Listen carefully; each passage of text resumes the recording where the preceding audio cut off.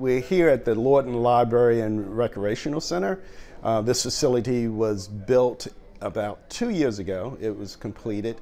And today we're here talking about the vision for Lorton and where we want Lorton to be in the next 10, 20, 15 years. And as we do this core study to help come up with a comprehensive plan in terms of how we can redevelop this area and make it even more vibrant and a place that the community can come and enjoy.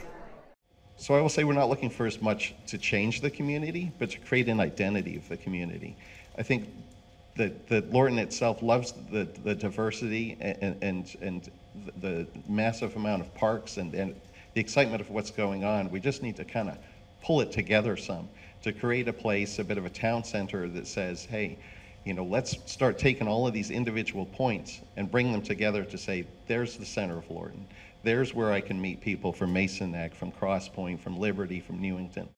We have the community that's been invited to this open house so that we can make sure that the task force and the coordination with the county staff is going in a direction that the county would like to see so that we can ensure that we are bringing about the vision that we all can enjoy and look to have in the future. As part of the planning study, we're also looking for members of the community to give their ideas on new brandings for some of the places that they like to like to live, work, and play within the Lorton community. So one of the names that we've come up as a group for Gunston Plaza could be Gunston Commons, and it would symbolize a, an area that's not just identified by a large parking lot, but maybe community gathering spaces where families can come and after they do their grocery shopping, they can hang out and play in the park or uh, have dinner in an outdoor setting.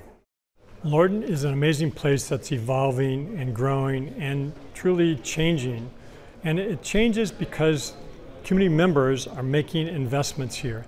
And with those investments, we truly will create the Lorton of tomorrow that everybody can be proud of and want to live, learn, work, and play here.